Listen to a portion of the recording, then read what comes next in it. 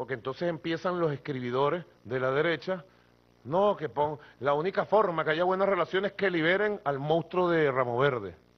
Yo digo, la única forma que yo usara las facultades presidenciales que tengo para liberarlo es para montarlo en un avión, que vaya a los Estados Unidos, lo deje allá y me entreguen a Oscar López Rivera, pelo a pelo, pues, hombre a hombre, es la única forma. Me entreguen a Oscar López Rivera, es la única forma, la única forma que pasaría por la mente la utilización de las facultades presidenciales para soltar al monstruo de Ramo Verde. De resto, son un asunto de la nación venezolana, de la justicia venezolana, de la vida venezolana. Entonces empiezan los escribidores, que él le dijo, que no le dijo.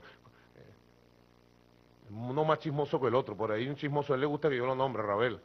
Trigante, chismoso. Se está consumiendo en vida por tanto odio. Entonces sale, a, lo llaman de la embajada gringa y le dicen, ponga esto. Y él lo escribe como que él hubiera estado allí. ¿Ah?